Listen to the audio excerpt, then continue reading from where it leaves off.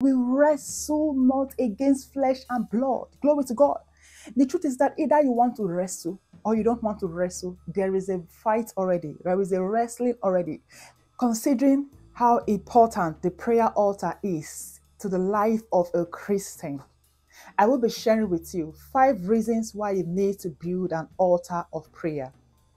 I recommend you watch to the end as I'll be sharing with you one more important truth. God bless you. The days are evil. As a Christian, now more than ever you need to build a prayer altar if you don't have one already. You need to build a prayer altar. If you have one already you need to what? Bring it back to life. You need to continue. Glory to god. Ephesians 5 16 to 18 it says of how we should what? Redeem the time for the days are evil. Glory to god. Let me quick do a quick reading here. Ephesians 5 16 says that redeeming the time because the days are are evil. 17 says that, wherefore be ye not unwise. That means don't be unwise, don't be foolish. The opposite of wisdom is foolishness. Be not ye unwise, but understanding what the will of the Lord is. Glory to God. One way of understanding what the will of the Lord is is on the altar of prayer because it gives you clarity. Like I said earlier in the order of my video, is that prayer is a communication between you and God. So if you must understand what the will of the Lord is, you need to engage communication. You need to engage the altar of prayer where you get clarity. Glory to God, understanding the times because the days are evil. Verse 18, the last, not the least verse says here that and be not drunk with wine wherein is excess, but be ye filled with the Spirit. Glory to God. You see why you need to engage the altar of prayer. Glory to God. If you can speak in, in tongues, engage the mystery of, of the Holy Spirit by speaking in tongues. Engage the mystery of the Holy Spirit by speaking in tongues. Eh, the days are evil.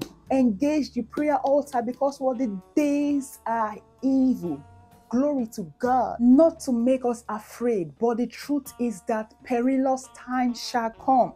I know I said earlier in the first point that the days are evil. Now, the second point is that perilous times are coming. Glory to God. What we are saying now, it's not even enough. Now, look at what the scripture says in Second Timothy 3, verse 1 to 5. It said that perilous times shall come. Glory to God.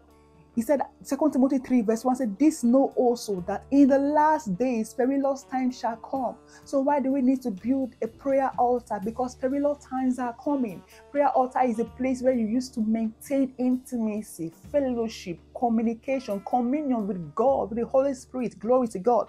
So, you need to what? Energize yourself more because perilous times shall come. You, if when you keep when you keep on appearing before the presence of God, glory to God, you keep on being more like God. Hallelujah. Glory. The scripture said that as He is, so are we. Ah, glory to God. He said they are changed into the same image from glory to glory. Hallelujah. So you need to keep on engaging the prayer altar, communicating with God, communing with God, so you will be able to stand in these last days. Hallelujah. I see you standing. I see you standing firm. You will not fall. You will not fail. In the name of the Lord Jesus Christ. Amen. The third reason why we need to build a prayer altar is because what we wrestle not against flesh and blood. Glory to God. The truth is that either you want to wrestle or you don't want to wrestle, there is a fight already. There is a wrestling already. The scripture is just trying to admonish us that we wrestle not against flesh and blood. Ephesians 6 12. Let's see what the scripture says that. It said that we wrestle not against flesh and blood, but against principalities, against powers, against the rulers of darkness of this world, against spiritual wickedness in high places. Glory to God. So if you already have a prayer altar, this is the more reason why you should continue on the prayer altar because the, the weapons of our warfare are not carnal. We don't go to the weapons of we don't go to fight spiritual war with axes, with bow and arrow. No but spiritual spiritual capacity. You bring spiritual power on the altar of prayer. This is one more reason. You need to continue on the altar of prayer. And you need to build an altar of prayer if you've not yet gotten one my brothers and my sisters.